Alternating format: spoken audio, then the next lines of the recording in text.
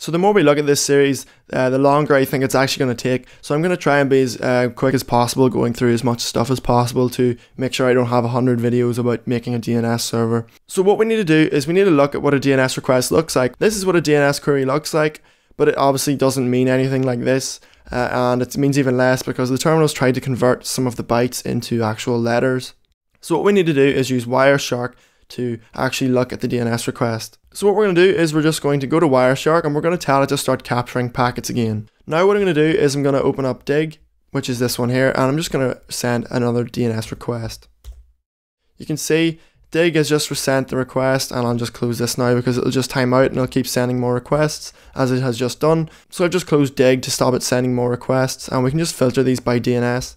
So we said DNS server and you can see there's two DNS requests. So this is what a DNS request actually looks like. This is the raw binary that the terminal has tried to convert.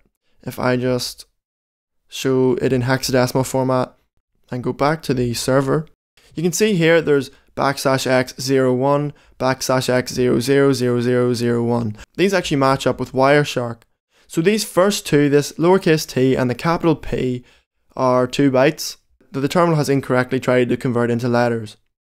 Which you can see, if I go to the DNS request if I click this, the DNS request turns blue, and these first two bytes are the uh, lowercase t and the capital P. Then we have 01, 000001, which is 4 bytes.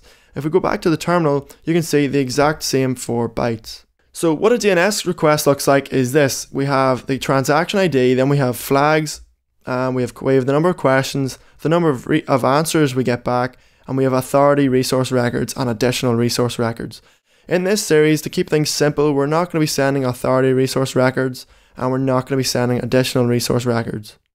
Because we're going to be creating an authoritative DNS server, it's not going to serve requests that it doesn't have zone files for. It's only going to serve requests from domains that it actually controls to keep things more simple. Here we have the actual question, and here we have hyco.org, and then we have the type of the request and the class. The class is in, which means internet. There are other classes that work with DNS, but the only one that 99.9% of people ever use is in for internet, which is encoded as a 1. Okay, so here we have the header section as is specified in the RFC. You can see if we go back to hyco.org, there are headers associated with HTTP requests, and these are the request headers, and these are the response headers. DNS also has headers, and this is the format of a DNS header. If we go back to Wireshark, we can see these headers. Uh, the header is the transaction ID down to the additional resource records. The next part where it says queries, that's part of the body of the request.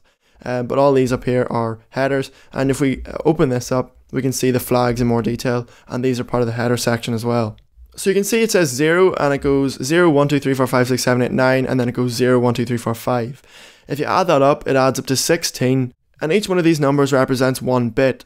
Uh, so essentially what that means is the transaction ID takes up 2 bytes of memory. So the transaction ID is this here and that is the very first part of a DNS request and a DNS response. The reason you have a transaction ID is because the DNS server sends you a response to your request but you don't know if that response is what you actually asked for. You don't know if it's the correct response. So in order to ensure that the uh, response came from the right DNS server, the DNS server has to extract the transaction ID out of the packet it receives from the request and send it back in the response. The transaction ID just ensures that the response that you receive came from the server you requested it from. The next thing we have are flags and you can see here this second line is the flags.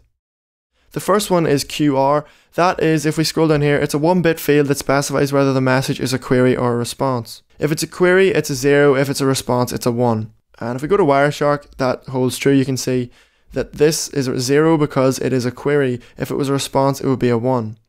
Next is opcode, and you can see opcode is, is encoded using 4 bits. And essentially, we can just send a 0 back in this field. We're not going to be dealing with all this other, uh, the other possibilities. To keep things simple, we're just going to send back a 0. The next is the AF field, which is the authoritative answer, and that will basically tell Dig whenever we send a request to it that the response is authoritative, which means that the DNS server we got the response from is the DNS server that controls the domain name. It's not coming from a third party DNS server. And you can see that takes up one bit. Then you can see there's another one called TC, and that stands for truncation. That means if our request was bigger than 512 bytes, uh, and for example, maybe it got truncated because it was too long, then we would say that we truncated it. But since we're going to assume all requests are 512 bytes or less, we're just going to say that as a zero. The RD field is another one bit field that says recursion desired, and essentially that is just the client asking the server for if it offers recursion, and we're going to say no. So we're just going to write a zero for that. For recursion available is the next field, that's also one bit, we're going to say that's zero. This field Z that takes up three bits is reserved, it's just for future use, so we can ignore that, we can just set these all to zero. And response code is another 4 bit field that says whether or not the DNS query was successful or not. And for simplicity, we're also just going to be assuming all queries are successful.